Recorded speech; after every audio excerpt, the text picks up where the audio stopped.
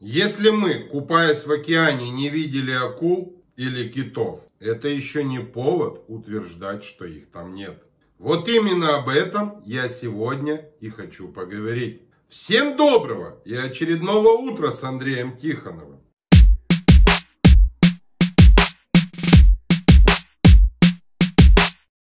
Сегодня, дорогие уважаемые мои подписчики, коллеги-переговорщики, риэлторы, мы с вами затронем очень интересную тему, описанную в 19 главе, которая называется «Дедукция, индукция и аналогия». Вы знаете, в связи с тем, что все-таки эта тема очень-очень сложная, и в ней очень много разных определений, я попробую эту главу объяснить на реальном примере моих клиентов, которые ко мне обращались. Может быть, даже кто-то в этой ситуации увидит себя с одной или с другой стороны.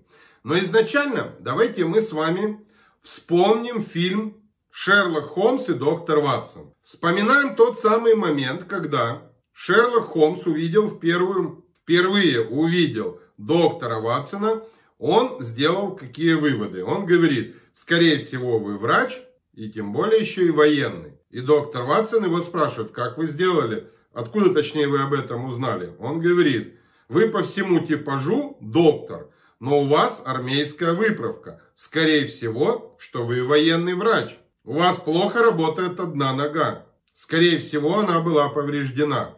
Лицо обладает несвойственным вами цветом. То есть оно более загорело, чем запястье рук. Отсюда делаем вывод. Раз вы англичанин, то мы берем, что травму вы получить могли только где-то в боевых действиях. И называют точку, где он мог находиться.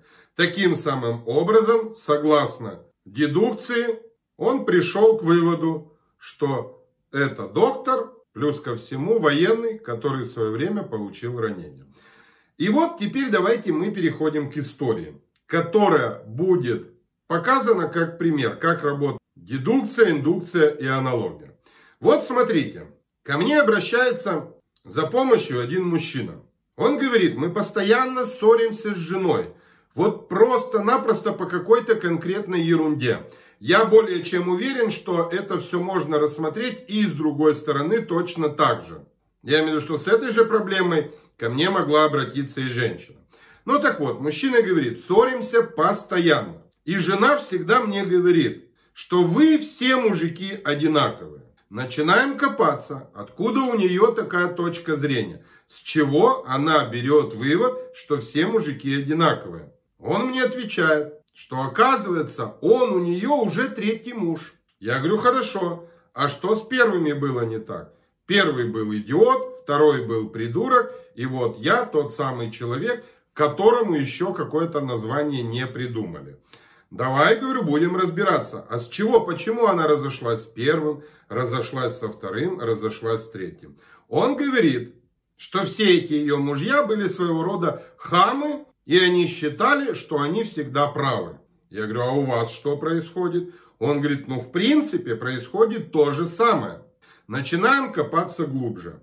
Мне всегда интересно в этих случаях посмотреть, что происходило с семьей этой девушки, и какое у нее окружение. Выясняется, самая близкая подруга дважды разведена, и в обоих случаях муж идиот. У этой подруги мама дважды разведена, и ее мужья идиоты. Но самое, что интересно, у его жены мама замужем была тоже трижды, была трижды разведена, и все мужья уже, как вы догадываетесь, идиоты. То есть получается, эта девушка копирует модель поведения своей близкой подруги, с, э, мамы подруги и своей собственной мамы. Смотрит на свои собственные взаимоотношения и делает какой вывод, что все мужчины идиоты. И мне очень нравится одна интересная поговорка. Если тебя бьет первый муж, Точнее, если по твоему лицу бьет первый муж, брось его. Если второй муж тоже начал бить по твоему лицу, тоже брось его. Но если вдруг третий начал бить по твоему лицу, то, скорее всего, что-то не так уже с твоим лицом.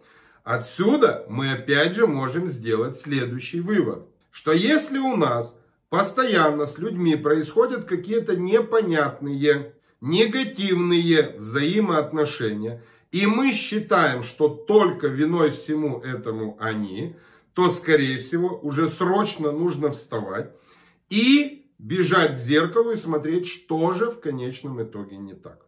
Теперь давайте посмотрим, как работает первая история с доктором Ватсоном и Шерлоком Холмсом и та история, которую я рассказал про распад семейной пары. Смотрите, Шерлок Холмс делает выводы согласно каким-то своим собственным пометкам. Он что-то видит, что-то замечает, складывает это со своим собственным, со своим собственным опытом и приходит к какому-то определенному выводу. То есть он проводит аналогию. С помощью дедукции, индукции он все дело собирает, а с помощью аналогии, что раз вот выправка значит военный, раз вот такое врачебное лицо значит врач, раз хромает значит получил травму, делает определенного рода выводы. И в этой истории точно так же. Девушка смотрит на отношения своей подруги, ее мамы, на отношения своей мамы, на свои предыдущие прошлые отношения, проводит среди них аналогию и говорит, что виноваты все, кроме я. Но почему я вам принял решение рассказать именно эту историю? В конечном итоге эта пара разошлась. Но самое, что интересно в этом случае, заключается в следующем.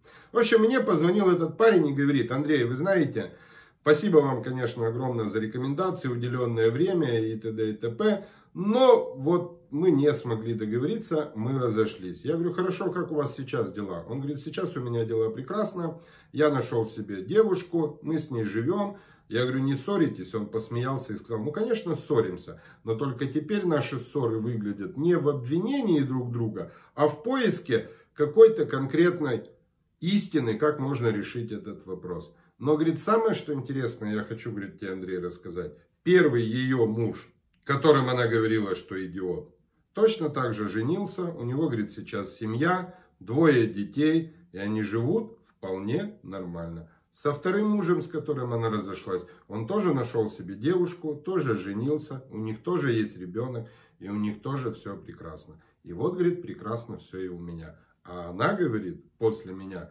еще нашла себе парня, повстречалась, они прожили, говорит, полтора месяца, но, естественно, раз он идиот, они разошлись. Отсюда делаем выводы. Не все то, что мы знаем, является правдой. А на сегодня все. С вами был я, Андрей Тихонов, эксперт в области переговоров. Спасибо вам, дорогие мои подписчики, что вы меня смотрите, за ваши лайки, за ваши комментарии, которые с огромным удовольствием читаю. Если это видео было для вас полезно, ставьте вот такой смайлик и подписывайтесь на наш телеграм-канал. А самое главное, берегите себя с Богом.